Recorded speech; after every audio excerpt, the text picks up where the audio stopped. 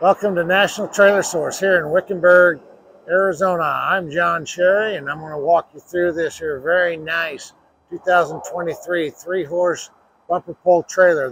It has a lot of accessories that you don't see on your everyday trailer.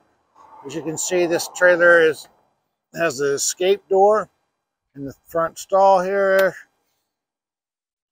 Options of putting the windows all the way down with the bars up or you can use the slide on here. It does have electric brakes all the way around. A nice feature of this trailer is it's a tack area. You can either use a front tack or the rear tack. Here in the rear tack, you'll notice that at this time the uh, saddle racks are up front, but they attach here on the corner and they actually swing out. So you have the three-tier swing out saddle rack also your bridle hooks and some more bars on the wall here. It is a collapsible tack.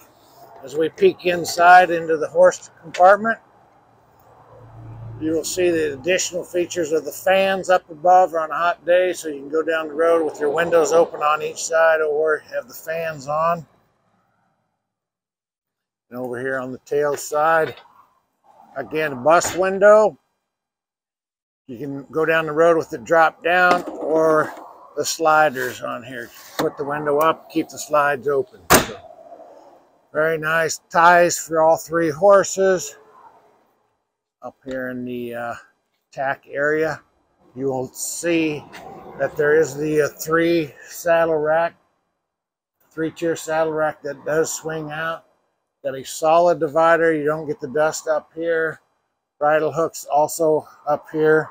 This trailer comes fully aluminum floor. So it is all aluminum floor.